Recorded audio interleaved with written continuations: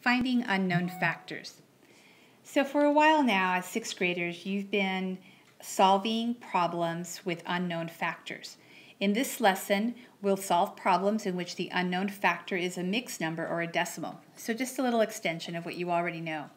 Remember that we can find an unknown factor by dividing the product by the known factor.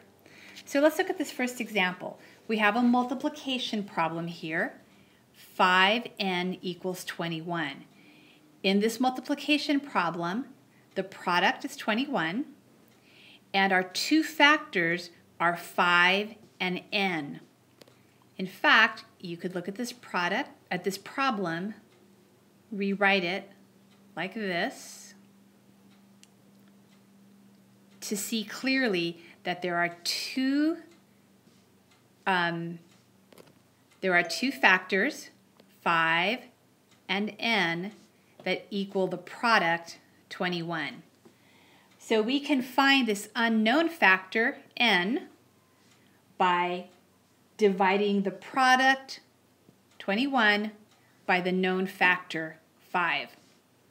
Let's rewrite this, pro this problem then as a division problem. And the reason we can do this is because division is the inverse or opposite operation of multiplication. So here's our dividend, 21. We're going to divide it by the known factor that now becomes our divisor. Simple uh, problem you've been doing probably since fourth grade.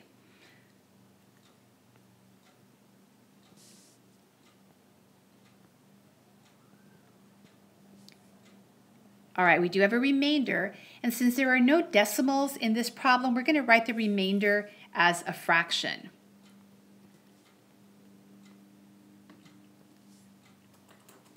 So our, our answer is 4 and 1 fifth.